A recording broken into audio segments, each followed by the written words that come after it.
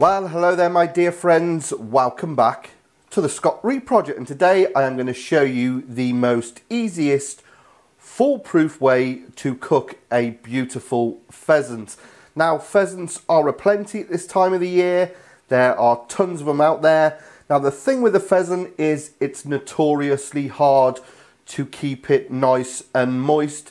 Reason being, it's a wild animal, it flies, you know, it's not raised on a farm, so there is not a lot of fat on them. So what you will find is you may be able to cook the legs, they will be perfect, but the breasts will always be a bit dry. So what I'm going to do, I'm going to show you an easy way, guaranteed, juicy, tender, and we are going to be poaching this in some chicken stock. Very, very simple. Now, the only thing, the only downside to this is you won't get nice crispy skin as if you were to roast it but what you will get and you will see at the end when we cut into it is absolutely perfect pink juicy meat. And it's so so simple and it's a great way of cooking a skinned pheasant. I mean sometimes a lot of you out there will have loads of pheasants. We haven't got time to pluck them so you skin them and this is a great way of cooking them as well. So first thing we need to do then very simple. Our pheasant is all prepared. What a beauty that is. We need to get a suitable sized vessel which one Fezzy will sit in, just like that. And then what we need to do then is make up our chicken stock. Now you don't have to go all fancy, I am going to be using stock cubes, so what I've done then is filled up my pan with water, which my pheasant will sit in. We take that out, and then if you want to be really technical, you can just measure how much that is and then make up your stock cubes per the packet. But me being me, I reckon I've got what? Two, maybe three pints in there. So I'm going to use three stock cubes. So we will get it on the stove. Now I am cooking this in my cousin's house on an electric hob. Never done it before, always cooked with gas. But hey ho, I live on the edge, baby. This is the way we roll. So it really couldn't be any easier. Once your stock is boiling, put in old Fezzy. Should fit perfect in there, just like that, look. And what we need to do is to bring that back up to the boil, turn it down to a simmer, and then we will simmer it for about 15 to 20 minutes I'm going to put it breast side down. So as you can see then, it's just starting to get a little lively. So what I'll do is I want to turn that heat right down. And like I said, just a little movement in the water. Okay then, as you can see, that's simmering nicely, those bubbles just breaking the surface. There's no anger in the stock, baby. So we just want to cover it just lightly and we want to cook that for 15 minutes. So that has been poaching for 15 minutes. I'm just going to turn it over, he says. Get your hands in there. Come on, you beauty. Now, you could check this with a meat thermometer, but I'm going old school. And all I'm going to do is in the thick part of the breast, put it in.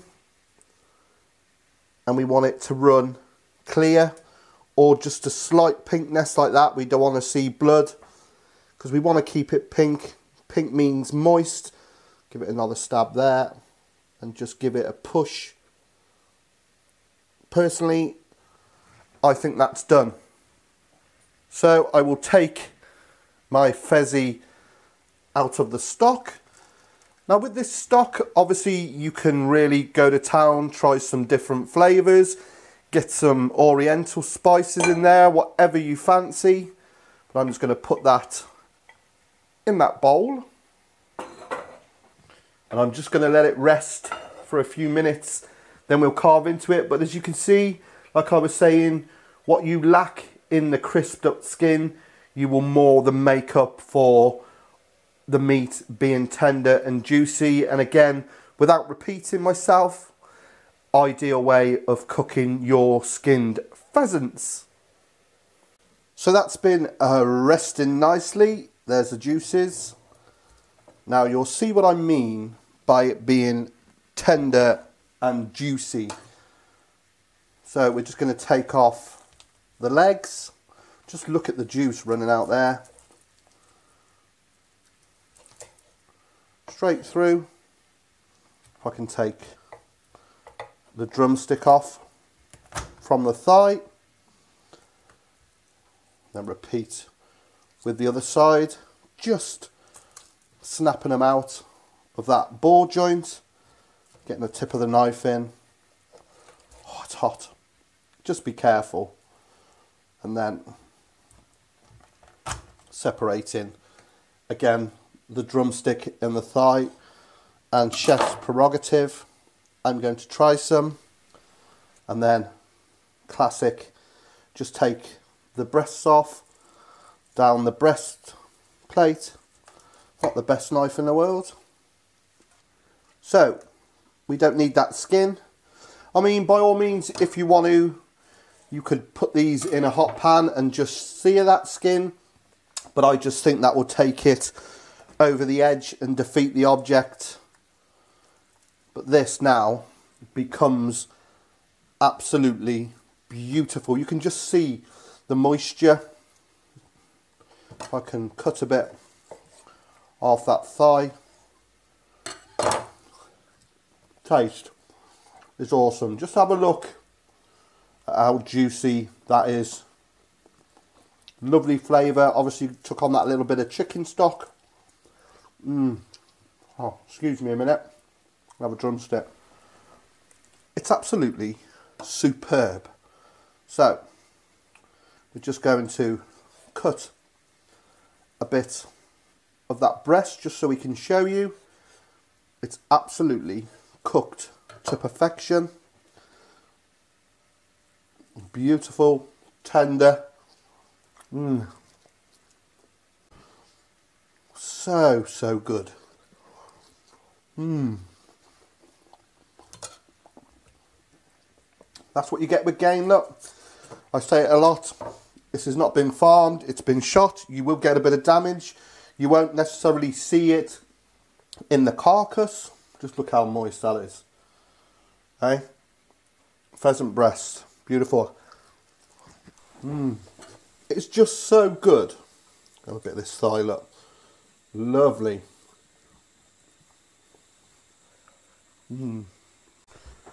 Well, there you have it, my friends. A great, easy way to a guaranteed juicy and tender pheasant. And if you've liked what you've seen here today on the SRP, please click subscribe when my face comes down in this corner. My beautiful face. Also, find me on my social media, on my Facebook, two pages, Scott Rea and the Scott Rea Project. Get on there, find the follow button and the like button. You can see what I get up to. Also on my Twitter, at Scott. And if you feel like sharing the love, please check out my Patreon page. The link will be in the description. So until next time, next time you get a pheasant, be it skin on, skin off, give this a go. Mm, you will not be disappointed. Mm, take care, my friends. All the best.